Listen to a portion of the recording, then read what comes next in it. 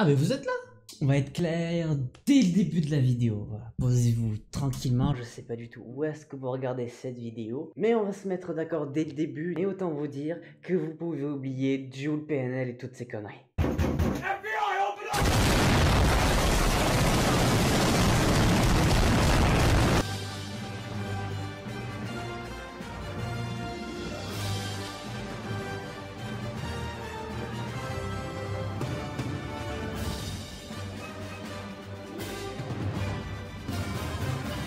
Là, vous allez probablement me détester parce que je ne supporte absolument pas le monde du rap, mais absolument pas du tout même. C'est pas du tout un style musical que j'ai envie d'écouter, que j'ai envie d'apprendre, que j'ai envie de connaître. Et par rapport à tous les chanteurs, groupes et chanteuses que je vais vous présenter dans cette vidéo, par rapport à ça, c'est juste pour moi incomparable et ça n'a rien à voir. Là, ce que vous allez voir, c'est quelqu'un qui est très vieux jeu parce que je suis quelqu'un qui est énormément vieux jeu sur le côté musical. Donc vous avez bien raison de me détester parce que forcément, actuellement, ce qui est le plus écouté dans le monde, c'est le rap et moi, je ne supporte pas ça du tout. Mais on n'est pas là pour se foutre sur la gueule parce que c'est juste mon avis personnel. Je respecte énormément ceux qui écoutent le rap et je respecte la création en tant que telle. C'est juste que moi, c'est pas du tout un univers qui me passionne. Aujourd'hui, comme vous l'avez compris, on va s'intéresser à mon chanteur, groupe ou chanteuse préféré. Et comme vous allez voir, je suis très vieux jeu parce qu'il y a probablement des chanteurs que vous ne connaissez même pas y a des jeunes qui regardent cette vidéo. Et c'est peut-être des choses que vous devrez aller voir qui sont vraiment très intéressantes parce que tout ce que je vais vous présenter ici, c'est légendaire, des groupes légendaires, des chanteurs légendaires. Donc je vous conseille fortement d'aller voir et écouter les chanteurs que je vais vous annoncer dans cette vidéo. En tout cas, moi je suis prêt à souffrir encore une fois dans ce nouveau calais. J'espère que vous êtes prêts à m'accompagner parce qu'on y va directement.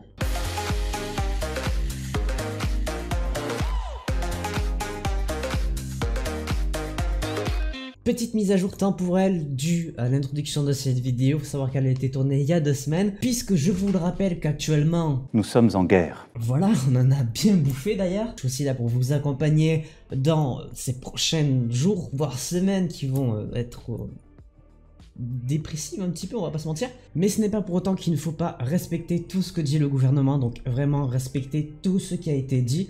Et je pense qu'à un moment donné, ça passera. Parce que de toute façon, ça va passer à un moment donné ou à un autre. On va pas clamser sur la première épidémie qui nous tombe sur la gueule. Donc faites attention, prenez soin de vous. Et on va reprendre la vidéo. C'était juste une petite aparté. Comme à mon habitude, j'ai sélectionné 16 candidats, candidates et groupes euh, différents. Mais cette fois-ci, je ne pourrais pas mettre d'extrait parce que je vais me faire striker et la vidéo va être supprimée. C'est pas comme avec les films, il y a certains extraits que je peux mettre. Là, la musique, c'est un peu plus compliqué, on va pas se mentir. Donc pour illustrer les personnages, je vous mettrai juste des images des gens en question. Et on va commencer tout de suite. Premier match, le premier chanteur est une légende en France, c'est un des plus grands chanteurs de tous les temps et vous allez voir qu'il y aura aussi plein de français dans cette vidéo. Le premier, il s'agit de Serge Gainsbourg. Si je devais citer un album en particulier de Serge Gainsbourg, je pense que je dirais Bonnie and Clyde clairement. Je crois que c'est le 6ème, 7ème je crois que c'est le septième. C'est là que ça va être cruel parce que chaque match va vraiment être atroce parce que j'ai mis énormément de temps à sélectionner les 16. J'en ai même mis de côté et c'est terrible. Serge Gainsbourg qui va tomber face à Gilbert Montagnier. Et alors là, dès qu'on parle de Gilbert Montagnier, on pense on va s'aimer. Le soleil des tropiques. Mais là, vous le constatez, je suis très vieux jeu, je suis très musique de l'époque. Et si je dois choisir un des deux, faut que je me base sur, par exemple, qu'est-ce qui va me faire danser en premier, par exemple. Qu'est-ce que je vais vouloir écouter en premier entre les deux, même si ça dépend de notre émotion à l'instant T. Mais je pense que pour le respect de toute la carrière et des œuvres, et parce que ces musiques, elles sont juste, mais incroyables, je pense faire passer Serge Gainsbourg le quart de finale. C'est un des papas de la musique française, et on peut rien dire, on peut rien dire. Deuxième match, cette fois-ci, je découvre chanteur par chanteur. Là, j'ai juste les deux qui s'affrontent, mais c'est un scandale. Putain, qu'est-ce que je fais mais Je m'inflige tellement de souffrance. Le premier chanteur, il s'agit d'un ancien chanteur qui ne chante plus. C'est le coach de l'équipe de France de tennis. C'est quelqu'un qui a gagné Roland Garros en plus de ça. Il s'agit bien évidemment de Yannick Noah. Et s'il y a bien un titre en particulier que je retiendrai de ce gars, c'est la Voix des Sages, clairement. C'est un titre que j'aime beaucoup, mais problème, c'est qu'en face de Yannick Noir, il y a JJG. Oui, JJG, c'est le diminutif de Jean-Jacques Goldman. Et pour les plus proches de moi, ils savent à quel point j'aime Jean-Jacques Goldman. J'adore tout ce qu'il fait, tout ce qu'il a fait. Et un des regrets que j'ai dans ma vie, c'est de ne pas être né plus tôt pour aller le voir en concert. C'est vraiment le, un des plus gros regrets que j'ai. Et en même temps, j'y peux rien parce que je peux pas remonter le temps et retarder, peut-être avancer ma naissance, ça serait quand même bizarre. Mais clairement, pour moi, il n'y a pas photo ici, même si Yannick Noah, il a une carrière incroyable. Et même vis-à-vis de sa reconversion dans le tennis, qui est une de mes, aussi de mes passions. Mais Jean-Jacques Goldman... Qu'est-ce que tu veux faire? Qu'est-ce que tu veux faire? Ça fait 16 ans qu'il a arrêté sa carrière solo et pourtant chaque année la personnalité préférée des Français en général, Goldman arrive toujours en tête et c'est juste mais incroyable pour te dire le succès du mec, c'est incroyable. Jean-Jacques Goldman en quart de finale, il a même pas hésité. Troisième match, on redescend un tout petit peu plus bas dans le tableau. Le premier candidat, il s'agit de Claude François. Pareil, si je devais citer un titre, euh, je dirais Alexandria Alexandra. C'est peut-être le son sur lequel je me suis le plus enjaillé. Ou peut-être ces années-là aussi, je sais pas trop. Entre les deux, ça se joue, pas mal. Et en face de Claude François, dans un tout autre registre, il affronte les Daft Punk. Bon, les Daft Punk. Ah, putain, je sais pas. Ah là, c'est compliqué. C'est deux registres tellement différents, mais qui j'aime autant l'un que l'autre c'est deux univers tellement qui ils ont rien à voir en fait. Peut-être qu'à l'heure actuelle, je lancerai plus facilement un single des Daft Punk, je dirais. Donc, euh, ouais, Daft Punk en quart de finale, euh, pourquoi pas. On arrive à la moitié des matchs des huitièmes de finale. Quatrième combat entre Daniel Balavoine. Balavoine. Ok, la Ziza SOS, le chanteur, la vie n'apprend rien, vivre ou survivre, mon fils, ma bataille, laisse tomber, je peux te citer tellement de titres, c'est juste absolument euh, légendaire. Et il va affronter un des premiers groupes qui apparaît dans ce tournoi, outre les Daft Punk, Police. Vis-à-vis -vis de la carrière de Daniel Balavoine, il mériterait de gagner ce tournoi. Mais il y a un titre en particulier qui va me faire choisir Police et c'est peut-être un de mes singles préférés à l'heure actuelle. Il y en a d'autres aussi, mais je veux dire, il fait partie des titres vraiment que j'aime beaucoup. Il s'agit du titre Every Breath You Take de Police avec Sting. Juste, mais ce son, mais pour moi, ça fait gagner Police, ça fait passer Police en quart de finale, malgré la carrière légendaire et les titres légendaires. Je veux dire, l'Aziza quand même de Daniel Balavoine, c'est pas n'importe quoi. Mais il y a ce titre en particulier qui ne peut pas me laisser mettre Police de côté. Après, c'est mon avis personnel, c'est vraiment un titre qui m'a grippé, clairement. Il m'a pris, il m'a dit, tiens, tu vas aimer ça toute ta vie, et c'est le cas. Donc, je vais faire passer Police en quart de finale, du coup. Je vous avoue, c'est pas forcément très facile de faire cette vidéo parce que chacun a le mérite de pouvoir passer. Euh, face à l'autre, c'est juste, je vais me baser sur la nostalgie, un peu nostalgie, un peu de joie, un peu de réflexion par rapport à quand est-ce que je vais pouvoir danser sur tel single ou sur tel chanteur. Donc c'est très contradictoire, chacun mérite vraiment sa place, mais tous les groupes et chanteurs, chanteuses que je vous cite dans cette vidéo sont légendaires et chacun mérite de gagner face à un autre. Enfin, c'est compliqué, c'est très subjectif après, donc euh, voilà, j'ai beaucoup de mal. Bon, ce match, je suis désolé. Là, on va parler d'une chanteuse. Pour moi, c'est la reine du monde. En termes de chanteuse, c'est la meilleure de toutes. Et c'est pour ça qu'elle est dans ce tournoi. Elle est au sommet du monde pour moi. Il s'agit bien évidemment de Shakira. Alors là, pour le coup, c'est un peu plus récent. Shakira, j'adore. J'adore. Ces titres, juste Waka Waka, Loka, ça fait des, des milliards de vues et ça tourne dans le monde entier. Mais je veux dire, qu'est-ce que tu veux faire face à Indochine?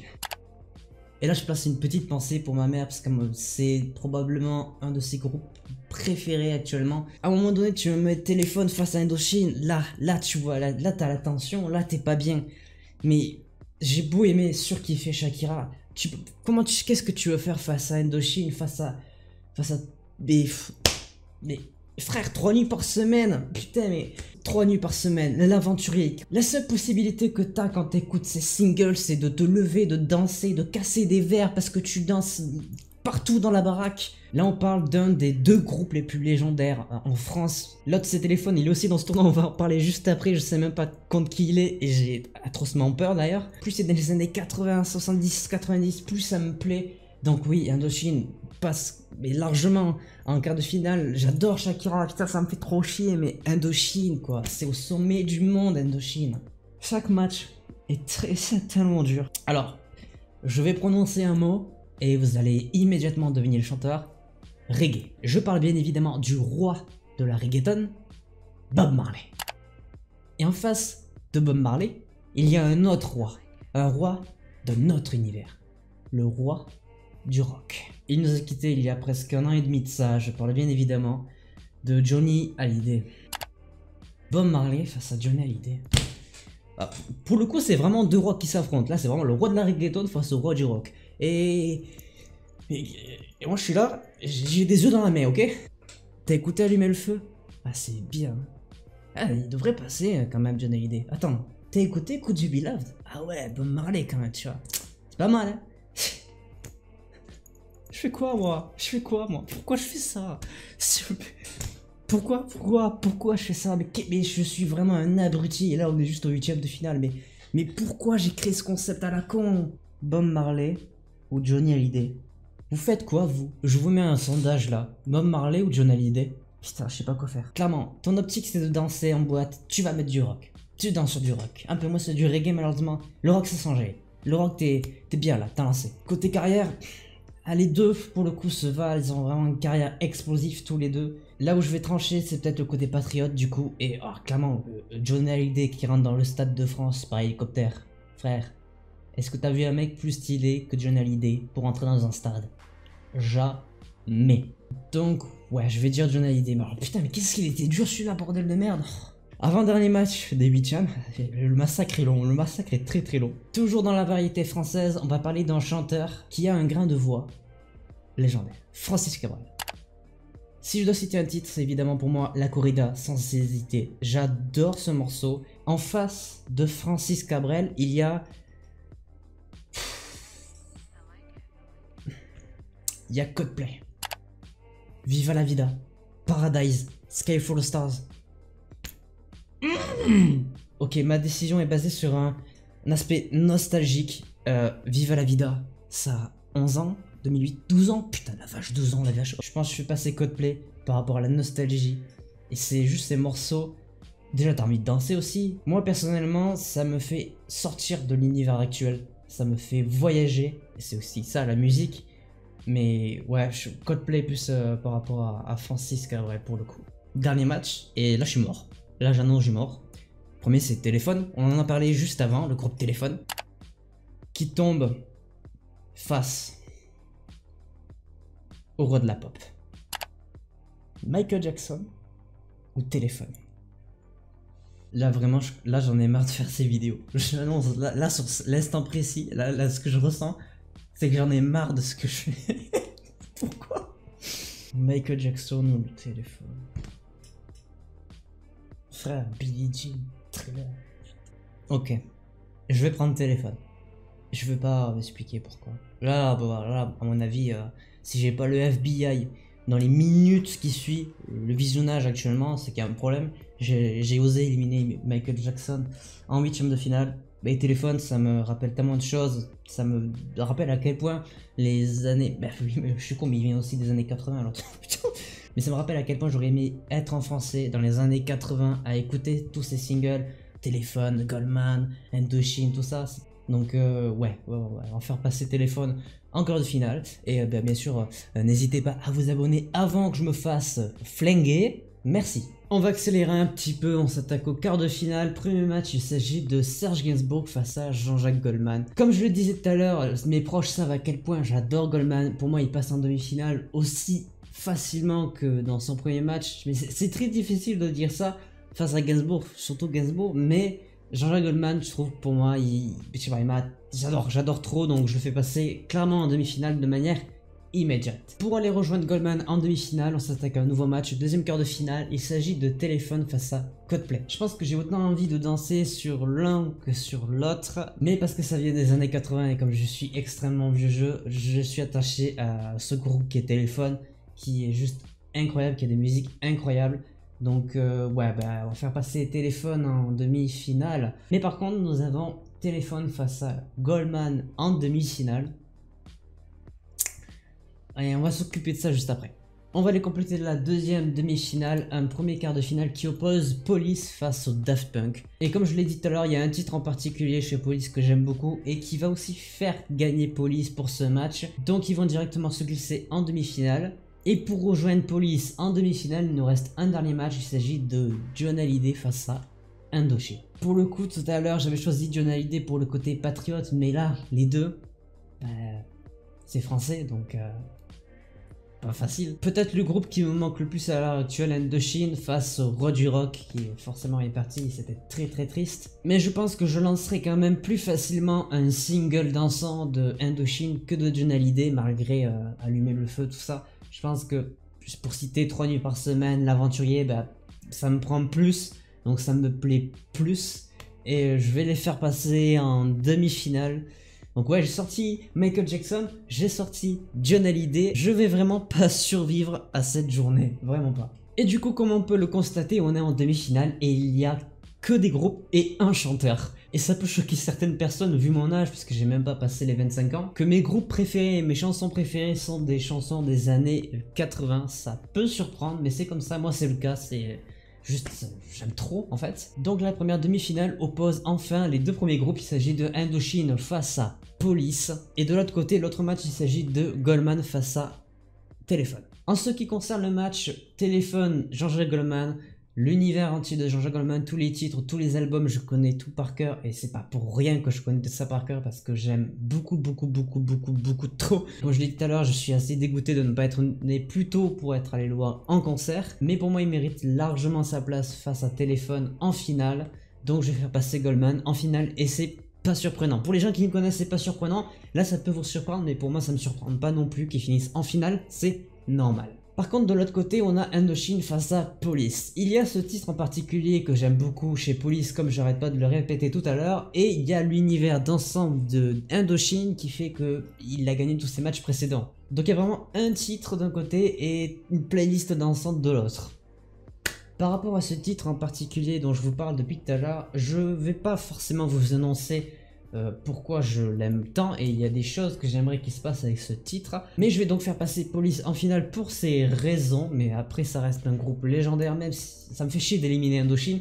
Mais il y a un truc avec Police, il y a un truc avec euh, ce titre là. Mais c'est ce qui fait que j'ai envie de faire gagner Police face à Indochine et donc Police va aller en finale face à Jean-Jacques Comme d'habitude, vous aurez le nom du gagnant après l'outro, vous avez l'habitude. J'espère que cette vidéo vous aura plu malgré les circonstances actuelles dans le pays. Mais je trouve qu'en plus la musique c'est un bon sujet à évoquer pendant ce confinement. Et n'oubliez pas que la musique ça peut vous aider dans ce genre de situation en plus de ça. Donc n'hésitez pas à aller vous renseigner sur tous les chanteurs, chanteuses des groupes que j'ai cités ici qui sont vraiment tous très très bien. Et de manière générale écouter de la musique pour passer un bon moment pendant ce confinement, je sais que c'est dur. En tout cas, j'espère que cette vidéo vous aura plu. N'hésitez pas à laisser un petit pouce bleu, à me laisser un commentaire en me disant vos groupes, chanteurs ou chanteuses préférés. Et évidemment, n'hésitez pas à vous abonner et activer la cloche pour être notifié des prochaines vidéos. Même si, point important, j'ai pas vraiment l'intention d'en faire plus pendant ce confinement, justement pour me concentrer sur les vidéos qui sont censées sortir et pour pas en faire trop et qu'elle soit pas assez travaillée entre guillemets. Mais peut-être que certains samedis, il y aura des vidéos peut-être sur le gaming qui sortiront, je sais pas encore. En tout cas, moi c'est ici que je vous laisse, je vous souhaite de bien vous porter, faites attention à vous, restez chez vous, portez-vous bien. Ciao